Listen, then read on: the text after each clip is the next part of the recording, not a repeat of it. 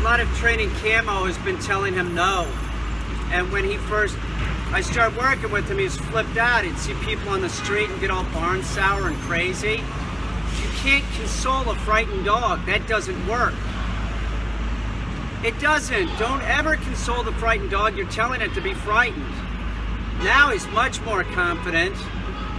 Even as early as like the 22nd of June, he was better. But now he's really doing good. People can come up to me and walk, talk to me on the street. Just sort of, you know, acts like a dog right beside me. Doesn't bark at him, doesn't back away. And if he did, I'd make him get it healed.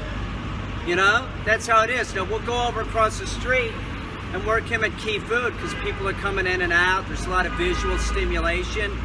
I'll have him do the weave poles. But he's, he's so much better. He is. When I first met him, he was like he was terrified of me. I had to pick him up and hold him and make him get used to me. That's how I was with people on the street. He was terrified. He'd see. You have no idea. Like like the first week he was here, it was you know he's gotten better over time. He's been here a long time. That's the deal I make. Like I'm gonna try and make the dog better. You know, the dog's the dog's gonna leave better than it than it came in. That's the deal I make with the owners. I try and do my best. It's it was you know this guy just has like such a you know he got screwed. Somebody dumped him out on a road. Anybody that would dump a dog out on a road, god damn it, we don't really know what was going on with Cammy. You know, they're probably screaming at him and treating him like shit the whole time that they had him. Anybody that would do that is a piece of shit. This little Cammy. Now he's now he's, he's pretty awesome. Look at him. Look at Cammy. Let's go do the weave poles, Cammy. It's cute as shit. I had him doing the weave poles upstate, and it was uh, it was harder down here. Listen to all this shit. Got the train. An asshole like that? You know, bullshit. The fuck is the matter with you, motherfucker? Put a fucking muffler on that damn thing. So we do the weave poles here. You know, there's a lot of visual stimulation, the door opening and closing. It's a lot better than he was. Here, wait. Here, wait. Here, wait. Here, wait. Here, wait. Good boy. Wait. Here, wait. Here, wait. Here, wait.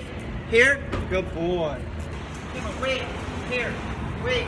Here, wait. Here, wait. Here, wait. Here. Nice job, buddy. Come on, here. Come on, wait. Here, wait. Here, wait. Here, wait. Here, wait. Nice. Wait. Come on, here, wait. Here, wait. Here, wait. Here, wait. Here. Good boy. Here, wait.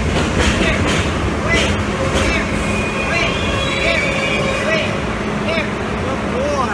Tell you one thing that I've noticed about Camo is if he has a tendency to pop out a heel in regards to a human, it's that he wants to sniff them, not that he's terrified. So he's sort of gravitating towards them. That's a better situation, I'll tell you that. He's great. He's awesome. He's he's doing great. He's not the terrified little freak that he was. Now he's just a cute little freak. Aren't you, Cammy? Cammy, sit. He's fucking cute. He is. He's awesome. Look at the face. Look at the face on him. Who could do that to Camo? Right, Camo? This boggles my mind, man. Going up these stairs to the subway, it's sort of flipped out camo. It's a common thing because they can see through it. What do you think I did to get him up the stairs? I just made him do it. Within two times, now he goes up them, it's no problem. We're about to put him on the subway. Watch him go up the stairs now, no problem. I didn't console him, I'll tell you that. Watch Cammy go up the stairs now. He ain't no pussy. Come on, Cam.